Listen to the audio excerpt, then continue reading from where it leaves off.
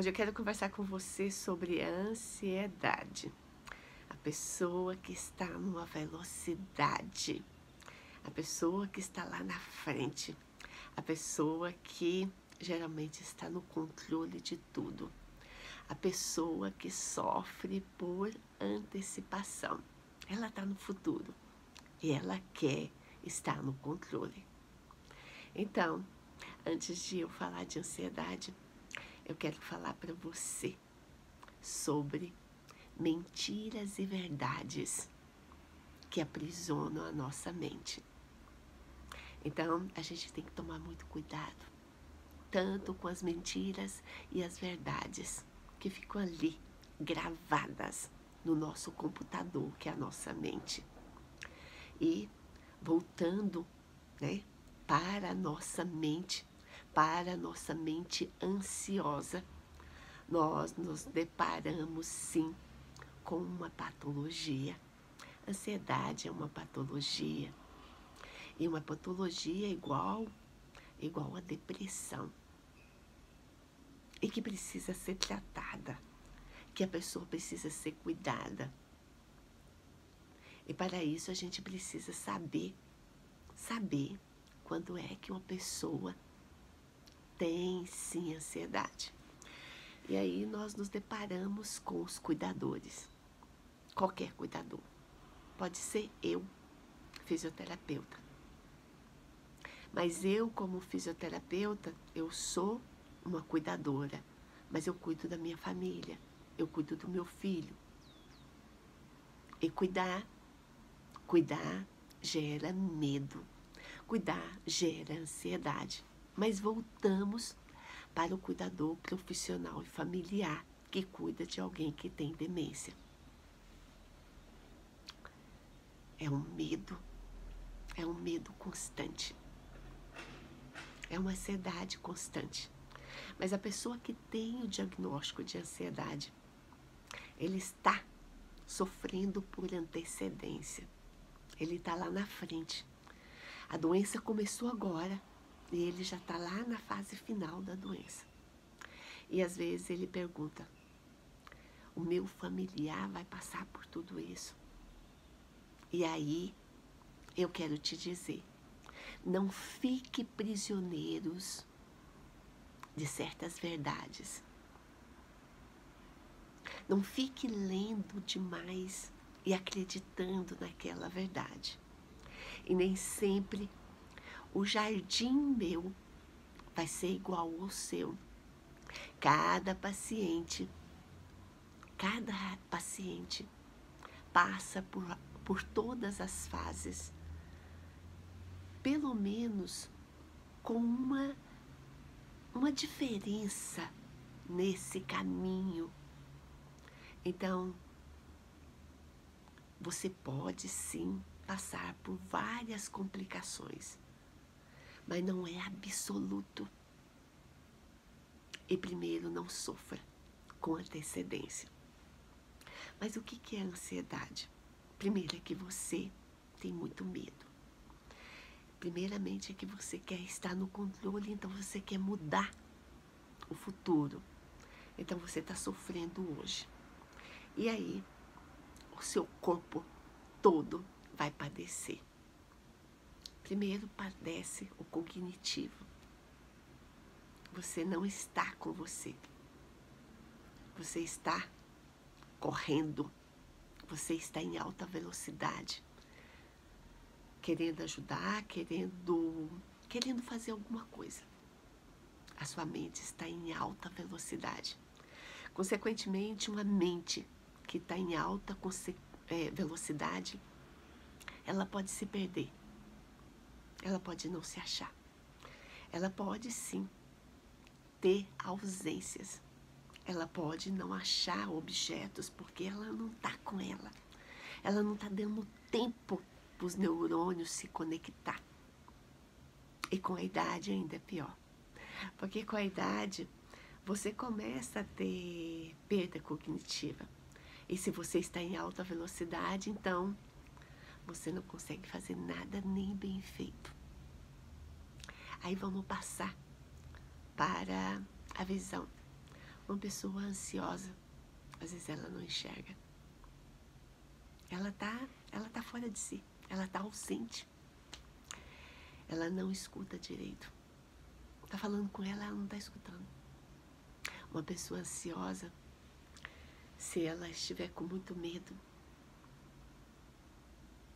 ela tem sudorese, ela tem arritmia, ela tem dores corporais, ela pode ter uma diarreia,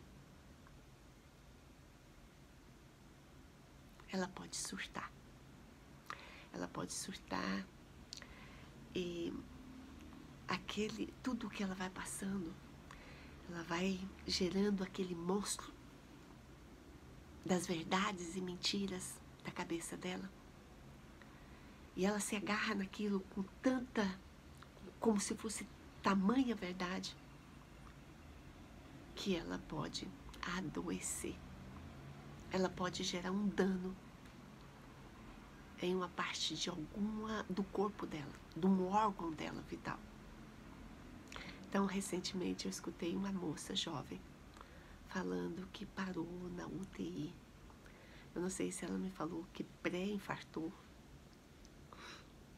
mas ela foi para UTI. E simplesmente por, por sofrer, por antecedência. E ansiedade, essa moça, quando eu me lembrei, gera pânico, a síndrome do pânico. Porque não é um dia só, é constante. A mente dela está só ali, na mesma informação. Vai acontecer, eu tô com medo, vai acontecer. Então, é uma doença e tem muitas complicações. Eu te sugiro que busque tratamento busque terapia. E além disso, busque relaxamento. Eu relaxo com água. A torneira caindo, a água. Eu lavando alguma coisa. Eu relaxo. Coisa simples eu relaxo. Eu relaxo no banho. Eu relaxo na cachoeira. Eu relaxo dirigindo. Eu me encontro comigo às vezes no silêncio. O que? Eu te pergunto para você. O que que te relaxa? Você é casada, casado. Namorar te relaxa. Caminhar de mão dadas te relaxa. Desabafar relaxa.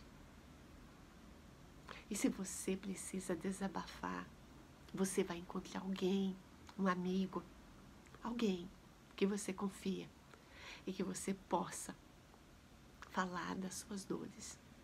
Porque um amigo a gente pode tirar, a gente pode tirar a nossa máscara, porque aquele amigo ele já te conhece. Ele já sabe das nossas dores. Então, desabafe, mergulhe e fale tudo.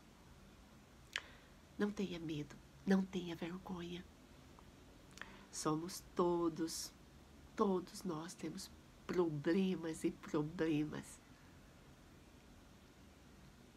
E aí você busca terapia, precisa de medicamento, busca medicamento. Gosta de fazer meditação? Algumas pessoas falam meditação é, massagem, yoga. Eu acho que uma pessoa ansioso é mais difícil ele ficar ali, né? Porque ele não tem tempo de ficar com ele. Mas tente fazer uma terapia. Uma coisa que às vezes eu acho que pode funcionar é a massagem. É receber carinho pelas mãos de outra pessoa. E aí, às vezes, até um netinho pode fazer uma massagem nas suas mãos, nos seus pés. Peça. Peça ajuda. Busque ajuda. Sabe por quê? Porque seja lá quem for que você está cuidando, ele precisa de você bem.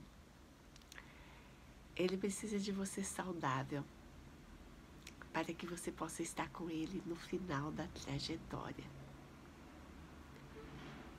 E esse equilíbrio é quando nós buscamos estar bem. Mas não é só isso não. É quando a gente começa a ter amor próprio. Amor próprio. Eu preciso estar bem. Porque pessoas precisam de mim. E outro fato é que a gente não quer, no final da vida, ter demência ou ter qualquer doença, uma doença que pode nos permitir ficar dependente de outra pessoa. Então, cuide da sua ansiedade. Não brinque com ela. Bom, muito obrigada. Eu estou com um canal no YouTube, Humanizando Vidas. Ney Maria Garcia. Inscreva-se. Me fala da sua dor. E eu te espero no próximo vídeo.